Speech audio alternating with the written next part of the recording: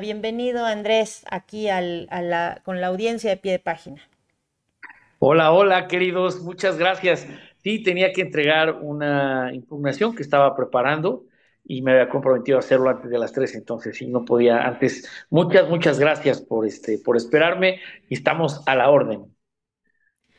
Pues la primera pregunta, o sea, porque una es la que sigue después de, ya se aprobó, nosotros nos vimos, ¿verdad? Grabamos un programa ahí en Canal 11, llegó a salvarme, deje que le cuente a la audiencia porque me habían hecho una pregunta muy difícil, este, y por suerte entró el constitucionalista a resolvernos ahí las dudas y yo dije, de la que me salvé. Entonces, te quiero preguntar la, misma eh, cosa, o sea, ¿qué sigue ahorita después de que se publicó ya por fin el, pues este decreto, ya que es oficial, ya hay reforma constitucional al Poder Judicial? Eh, ¿Qué es lo que sigue ahora eh, jurídicamente? ¿Cuáles son los pasos? Y este tema que se había quedado ahí pendiente la semana pasada para la audiencia que estaba en este programa, de eh, pues de la juez de Colima que había declarado que era que, que, o sea, que había dado una suspensión para que eso no ocurriera, pues al final sí ocurrió, sí se firmó.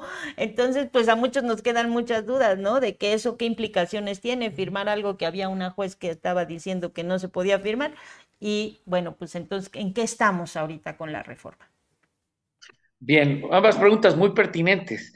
Em, esta reforma, pues estrictamente en sentido jurídico, ya no es una reforma, ya es la constitución.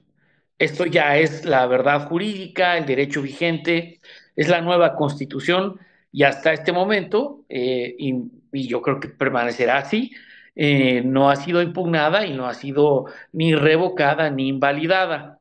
Entonces, propios, su propio capítulo transitorio, que es la parte de una reforma, de cualquier reforma que se deja al final, en la que se dice, bueno, todo lo que se reformó se va a aplicar a partir de tal fecha, los que estén ahorita en el cargo van a durar tanto tiempo y este, los nuevos se integrarán con tal fecha, los recursos se asignarán tal, digamos que la parte organizativa de el cómo se implementa una reforma, ya sea legal o constitucional. Entonces, esta parte, que también ya es derecho vigente, ya es constitucional, está ordenando que el Senado tiene 30 días, de los cuales ya pasaron varios, para emitir la convocatoria para el proceso electoral.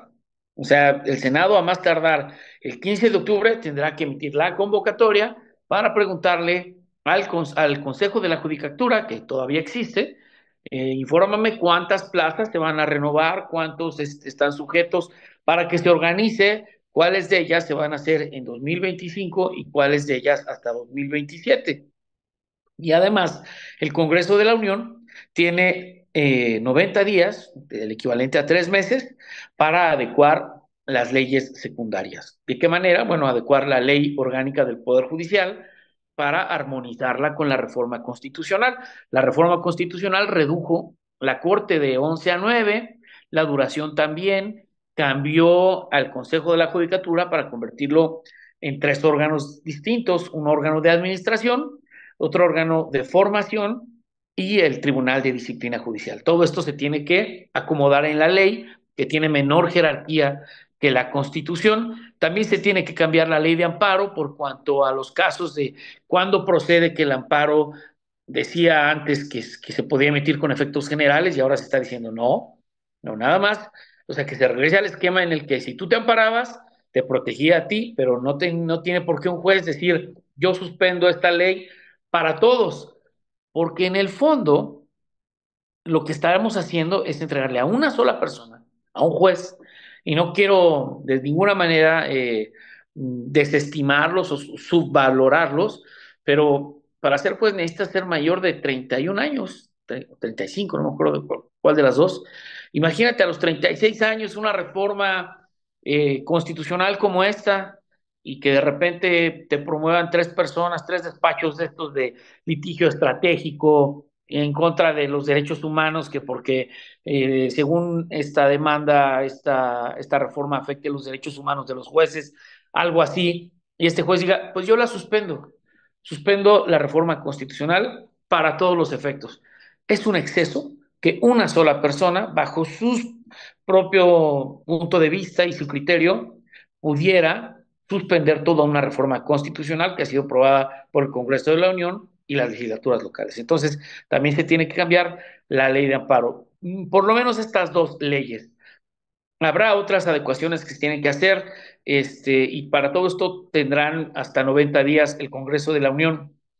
Y las legislaturas de los estados tienen seis meses, 180 días, para cambiar sus legislaciones, para armonizarla, tanto la constitucional como las leyes este, secundarias en los estados, y definir si van a elegir a sus eh, juzgadores el 25 o hasta el 27 o la mitad. Entonces, falta mucho tramo legislativo. Desde luego, esperamos que habrá, como, como ha sido hasta ahora, muchas resistencias, con la diferencia de que una reforma legal sí puede ser impugnada mediante acción de inconstitucionalidad. Una constitucional no, porque estás cambiando al propio parámetro. Eh, un, parámetro no puede ser parámetro y objeto comparable al mismo tiempo, ¿no? Es el parámetro y si tú lo cambias, pues ya cambiaron, es el nuevo parámetro para todo lo demás. Entonces, ahora sí podrían impugnar, nada más que para impugnar eh, se mantienen los requisitos, tiene que ser el 33% de la Cámara de Diputados o el 33% de la de senadores o el fiscal general o la Comisión de Derechos Humanos o la Consejería Jurídica eh, del Ejecutivo.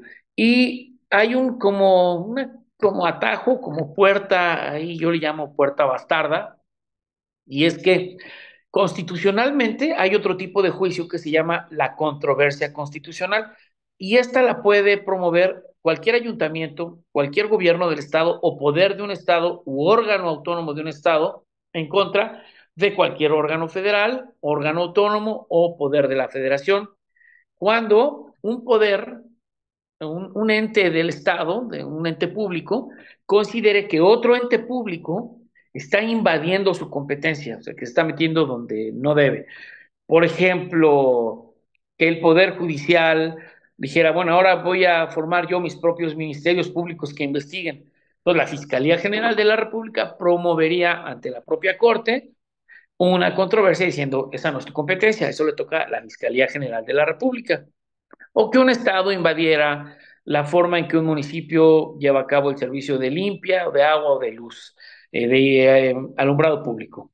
Eh, ejemplos sobran, ¿no? las posibilidades son infinitas, pero hay una posibilidad que dice, cuando alguien haga una ley en la que invada la competencia de otros, o sea, no nomás con actos, sino con leyes. Y aquí algún juez podría decir que cierta reforma si no es este, impugnable vía acción de inconstitucionalidad, a lo mejor la Corte, encabezada por su presidenta, podría promover ante sí mismo, imagínate eso, una controversia constitucional o el Poder Judicial de algún Estado podría promover una controversia constitucional en contra del Congreso de la Unión por estas leyes porque considera que está invadiendo sus competencias. Sin embargo, hay un criterio de la propia Corte que dice que esas controversias constitucionales no pueden ir en contra de reformas constitucionales porque estas son las que definen las competencias justamente, pero sí en contra de una reforma legal. Entonces creemos que todavía hay posibilidades de que se promuevan impugnaciones de las propias eh, leyes que, que se vayan a reformar. Y respecto del tema de los loquitos de Colima, perdón que lo diga así, pero es que están desatendiendo pues lo que establece la ley de amparo y los propios precedentes de la Corte de que una reforma constitucional no es susceptible de ser revisada por nadie, porque es el poder constituyente el que está cambiando la forma de cómo se arregla y cómo se conforma el Estado mexicano. Entonces no tiene otro poder por encima, y menos un juez. Entonces, en el caso de Colima, un juez emitió una suspensión y el Congreso de Colima, yo digo que fue un error, en lugar de ignorarlo, porque pues no era procedente, dijo, no, no, bueno, vamos a contestarle. al contestarle y quejarse, se subió a un colegiado y el del colegiado dijo, sí, efectivamente te eh, se prohíbe que se siga discutiendo y que se publique. Y tienen 24 horas para cumplir esto, o si no, eh, habrá órdenes de aprehensión en contra de quien no lo cumple y prisión de tres a nueve años. O sea, que bajo la óptica de ese magistrado, ahorita el presidente de la República debiera estar sujeto a un proceso penal. Obviamente, nadie se va a atrever porque fue un exceso y fue estar actuando con apariencia de que se está actuando conforme a la ley, pero totalmente fuera de la ley. Esto seguramente tendrá consecuencias eh, jurídicas, disciplinarias para estos juzgadores que desoyeron y desatendieron su responsabilidad constitucional. Y viene la gran pregunta, si el juez es el que dice el derecho, por eso en latín jurisdicción significa eso, juris, jurisdicción, decir el derecho. Por eso, por eso es, un, es un eh, servidor público jurisdiccional, porque él es el que dice qué es lo que procede conforme a lo que dice la ley. Si un propio juez desoye o desatiende la constitución, debes someterte a su jurisdicción para decirle, oiga, bueno, usted me ordenó, pues ya vengo aquí y eh, presento una queja. Pues no, porque te estás sometiendo tú solito a estos mandatos inconstitucionales que si imagínate, si nos hubiéramos sometido, hubiera dicho, ah, ya no se discuta nada. El señor, la señora jueza de Morelos, el señor juez de Chiapas y este magistrado de Colima dicen que ya no avancemos, ya que no se publique. Bueno, vamos a, continuar la tramitación del juicio de amparo y ya a ver si lo ganamos. Y si no lo ganamos, apelamos ante un colegiado. Y si no ganamos ante el colegiado, ante la propia corte. Y ahí nos vemos en dos años a ver si ya quieren haber resuelto, porque el juicio de amparo se puede tardar hasta dos años. Y entonces un juicio así podría durar cinco años más, ¿no? O sea, es una locura. Por supuesto que no había que someterse a esa jurisdicción inconstitucional. Yo he litigado amparos que llevan más de dos años en Reynosa sin resolverse. Entonces, no es justo, no es justo. La Corte se tarda más de un año en resolver una acción de inconstitucionalidad, una controversia constitucional.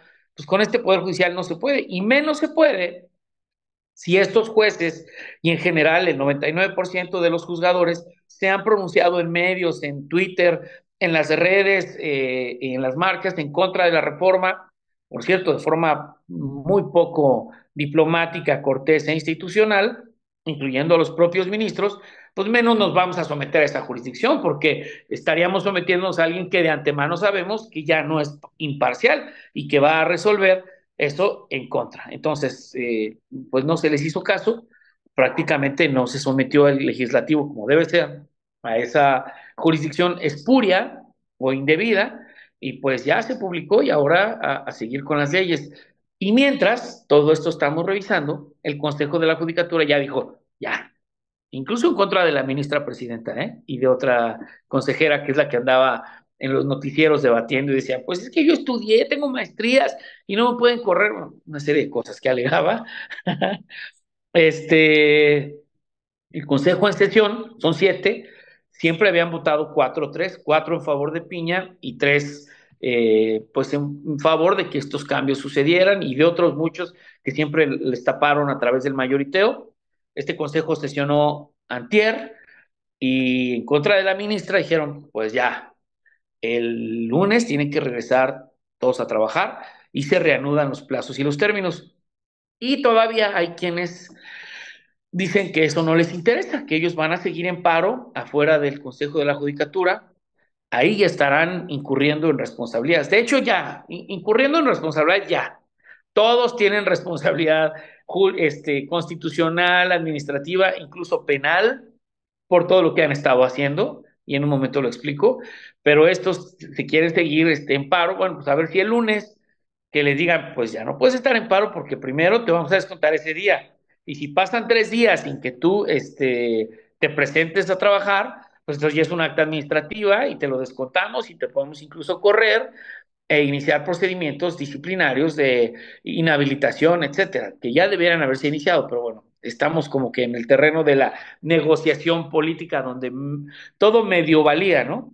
Y, por ejemplo, nunca nos dijeron si estaban en paro porque estos jueces estaban emitiendo sentencias y resoluciones es el autoritarismo y la arbitrariedad en su máxima expresión. Esta lástima de poder judicial que tenemos. estábamos a merced de un grupo de servidores públicos berrinchudos, ventajistas, elitistas y mimados con nuestros impuestos. Y además, estos, este mes que estuvieron en paro, pues estos que decidieron pagarles, o sea, la parte administrativa del Consejo de la Judicatura, que seguramente fue por orden de la ministra, pues desvió recursos, porque prácticamente les estaban pagando para ir a protestar. Eso es un delito, se llama desviación de recursos. Entonces, de verdad, no nos merecemos estas instituciones y ya sé que la reforma no es perfecta, que, además su implementación plantea riesgos este, y retos formidables, pero ya era momento de cambiar esto. Aquí Alejandro Ruiz, desde los Pagos de la Semana, preguntarte, ¿no? Eh, justo, justo comentas esto, o sea, hay ahorita un contexto, digamos, pues, pues de que se fueron a paro, desobedecieron básicamente, les pagaron, como tú comentas, para, para eh, estar protestando. Hubo un aceleramiento o algo inusual en emitir sentencias, en emitir resoluciones eh, que no se había visto antes, ¿no? Tenemos el contexto al menos de estos dos primeros amparos en Chiapas y, y en Morelos, donde, digo, la suspensión es una cosa que ya se desechó, pero digamos el amparo es contra el procedimiento legislativo, ¿no? O sea, que acusan que hay vicios en el procedimiento y que entiendo que así se pudo echar abajo, por ejemplo, la reforma de la Guardia Nacional o en su momento la ley minera, eh, porque justo se apeló hacia el procedimiento de que no hubo publicación de convocatorias y otras cosas más, ¿no? Tú comentas, o sea, lo, lo usual es de que esto tarde como dos años en resolverse, pero con esta celeridad y esta importancia y trascendencia política, ¿hay algún riesgo de que, esto, de que estos amparos realmente puedan funcionar y echar atrás el proceso legislativo? Y en caso de que eso pase, qué tendría que suceder en el Congreso para poder, digamos, repetir y hacerlo correctamente. Bien, em, estamos, estaríamos entrando en el terreno ya de, una rebeldía eh, de uno de los poderes frente a los otros dos y decirle, pues te ordeno que, o sea, yo, yo revoco tu reforma y, este, y la, te la invalido. Y estaríamos entrando en una crisis constitucional. Así de fácil. O sea, es como, yo digo que no vale y los otros dos poderes dirían, pues sí vale. Y ese, es un terreno donde no hay nada escrito, donde creo que la gente tendría que salir a las calles a defender la constitucionalidad, sin violencia desde luego, pero a defender la constitucionalidad del Poder Legislativo y sus facultades y del Ejecutivo. Ese sería como el, escenario eh, peor de todos. Ahora bien, el amparo, fíjate Qué interesante pregunta. El, artículo 61 de la ley de amparo dice que el amparo es improcedente en contra de adiciones y reformas a la Constitución, no así de reformas legales. Por eso sí suspendieron la ley eléctrica, por eso sí tumbaron lo de la Guardia Nacional, etcétera, porque eran leyes que estaban contradiciendo lo que decía la Constitución. Por eso, hoy, hablando particularmente del caso de la Guardia Nacional, eh, el día de ayer el, el Congreso aprueba la reforma a la Guardia Nacional en la Constitución, para que ya la Corte no diga que cualquier cambio es inconstitucional. Nuevamente acuden a cambiar el parámetro para que ya todo lo demás se adapte a este nuevo parámetro. Entonces, eh, hay quien dice, vi un video de un abogado que decía, sí, pero es que esa improcedencia del amparo está establecida en la ley, no en la Constitución. Entonces, si el artículo 135 de la Constitución, que establece el procedimiento de reformas, no dice que es improcedente el amparo, porque lo diga la ley no es suficiente, bueno, ese es, un argumento muy eh, absurdo, porque para eso existe la ley secundaria. Si no, entonces, la Constitución tendría que traer también quién está legitimado para impugnar, cuáles son los plazos, porque no vaya a ser que lo dice la ley y como no lo dice la Constitución, pues entonces procede. Es, es usar justamente una falacia para decir que como la Constitución no lo dice, significa que está permitido. No, esta, esta interpretación en sentido negativo de que lo que no diga la ley está permitido se refiere a los derechos de los ciudadanos, ¿no? Todo lo que no esté estrictamente prohibido por la ley o la constitución me está permitido. Y en sentido contrario, todo lo que la ley no me permita como servidor público, no lo puedo hacer. Yo solo puedo hacer lo que diga la ley. Y, ese es el espíritu y la razón de que existan leyes secundarias, darle instrumentación e implementación a los mandatos de la Constitución. Entonces, que ganó es que no lo dice el 135, no, y tampoco dice otras muchas cosas. Tampoco la Constitución establece los delitos, por ejemplo, y eso no quiere decir que no se apliquen los delitos. Entonces, pues son argumentos baladís, muy mañosos, por cierto, de algunos abogados que creen que pueden engañar a la gente. Pero en teoría, yo pienso que no deberían proceder, que deberían eh, aplicarse una figura que se llama el sobreseimiento, que significa ya clausurar algo que ya se había iniciado, se inició indebidamente o sobrevino una causal que ya debe extinguir ese procedimiento y los jueces deberán decretar el sobreseimiento. Creo yo que si un juez continúa tramitando estos juicios de amparo, está incurriendo en responsabilidad porque expresamente está yendo en contra ya del ordenado en la Constitución.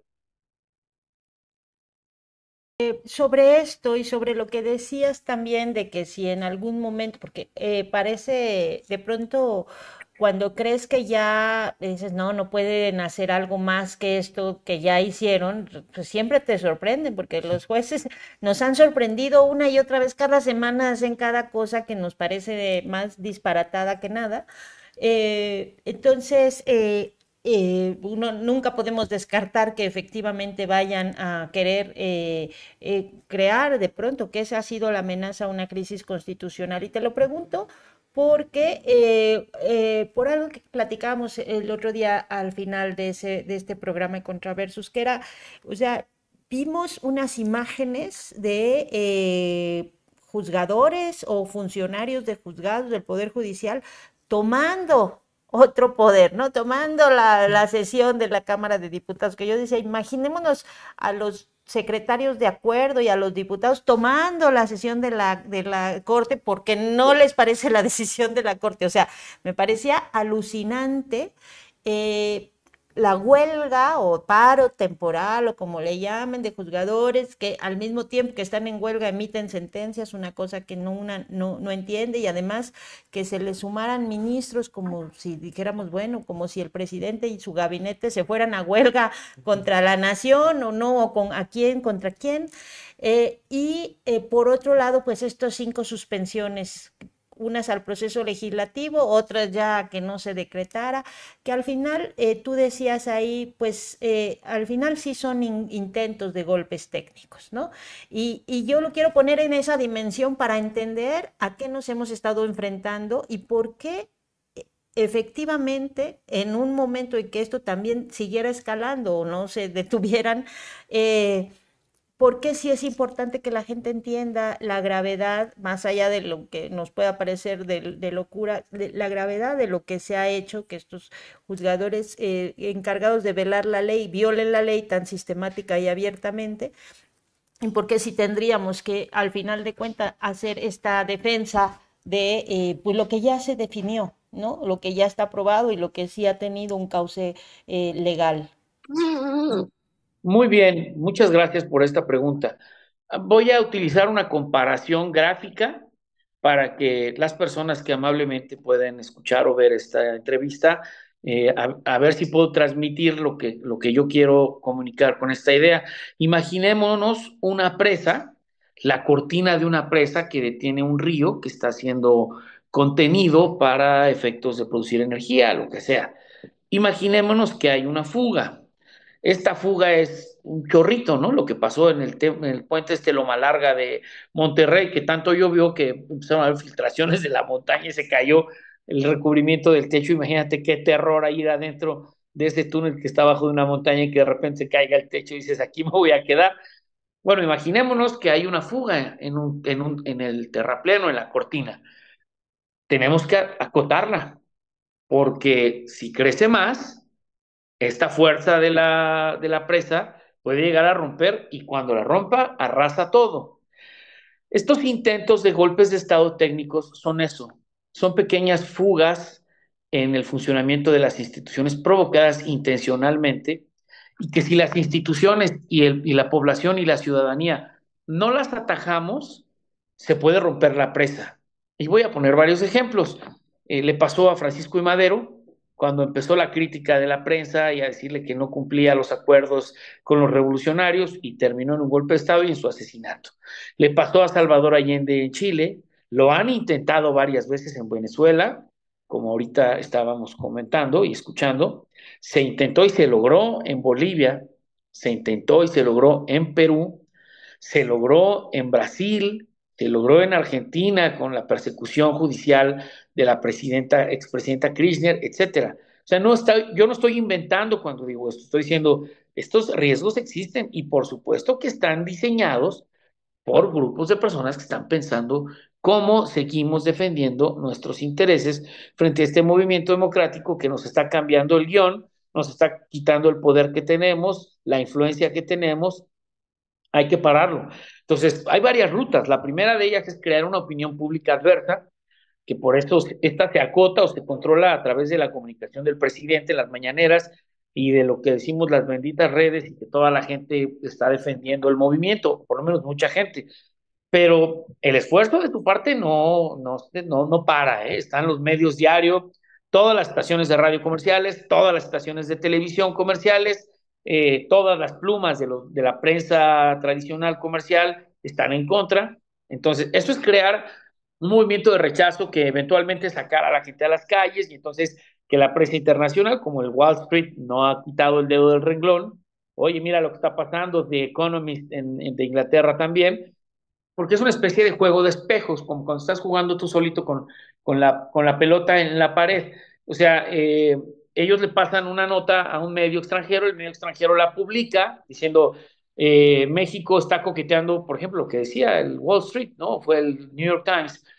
México coquetea con la dictadura y entonces los medios mexicanos dicen, ya están hablando mal de que México, aunque ellos son los que lo provocaron, ellos mandaron esta nota, ellos lo reflejan y dicen, miren lo que están diciendo Estados Unidos, entonces la gente sale a las calles, y es una especie de, espiral. Uno dice lo que el otro ya dijo, que fue lo que inició el, primero, y crear un, sentimiento de histeria, de, de zozobra, de incertidumbre, que de repente un embajador diga, bueno, creo que hay que hablar con el presidente de México para que ya le ponga orden a esta situación y llevarla a, lo que pasó en, en, Bolivia, justamente, que de repente alguien le diga al ejército, pues ya dile al, al presidente que se vaya porque ya, ya tiene un relajo, las inversiones peligran, este, los derechos de nuestros eh, gringuitos que tienen cata en la playa de México están muy preocupados, entonces eh, no nos gusta lo que están haciendo, es una deriva autoritaria, etcétera, y provocar golpes de Estado. Esto es cuando es en los medios,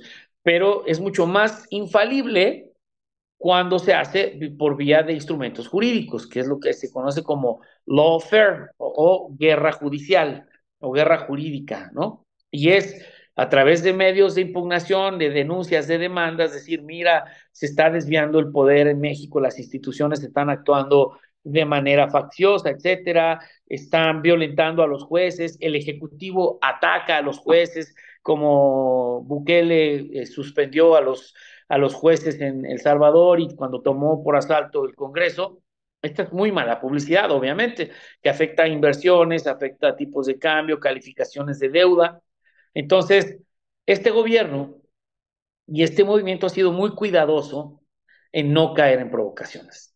No dejan de hacer provocaciones. Hoy, en la mañana, o no sé si fue un hecho de ayer, un abogado atacó físicamente a Fernández Noroña, le quitó el teléfono, no se lo quería entregar. Y este abogado resulta que es un abogado socio de un despacho muy prestigiado que se llama Basham. En México hay despachos como Baker McKenzie, Santa Marina y Esteta, Basham, Price Waterhouse, Deloitte, puras marcas extranjeras de abogados egresados de la Libre, de la Ibero, de la UP, ¿no? de escuelas católicas, mochilongas y super fresa, este, y estén haciendo estos son actos de provocación, porque cualquiera diría, vamos a hacerle el paro a Noroña, ¿no? O sea, vamos a darle cocos, pues no puedes hacerlo.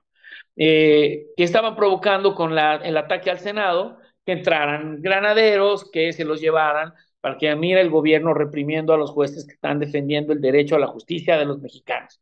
Entonces son intentonas muy, muy deshonestas, muy mal intencionadas, no debemos confiar en ellos, son gente mal intencionada, pero no vamos a caer en provocaciones. Entonces, eh, que sepa la gente que esto se ha hecho conforme a la Constitución, conforme a las reglas que establece la Constitución.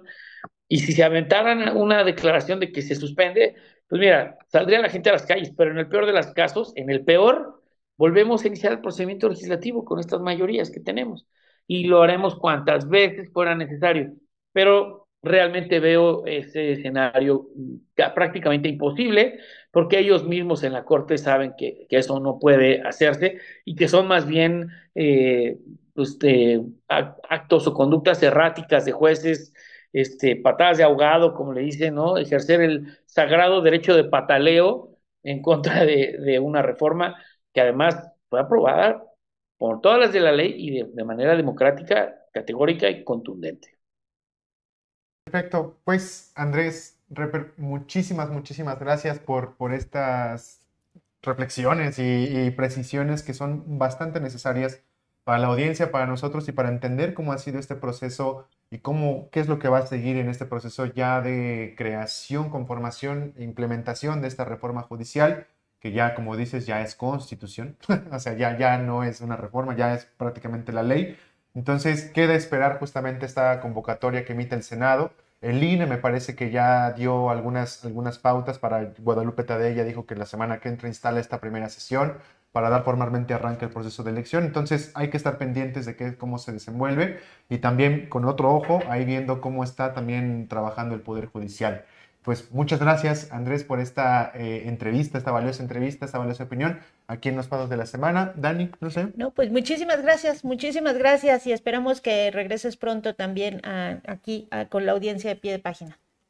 No, pues gracias a ustedes. Me encanta el, set, cómo se ven este, en ese escritorio con sus computadoras y, y el librero de atrás se ve muy bien este, los... Tacitas de pie página que nos trajeron de regalo. Ah, qué buena onda, está padrísimo y estamos a la orden. Vienen, vienen eh, pasos de implementación que hay que estar revisando y explicando cómo se van a formar los finalistas, la insaculación, las propuestas. Hay que revisarlo y sobre todo conocerlo para que no nos empiecen a desinformar los, los de siempre. Muchas gracias y buenas tardes.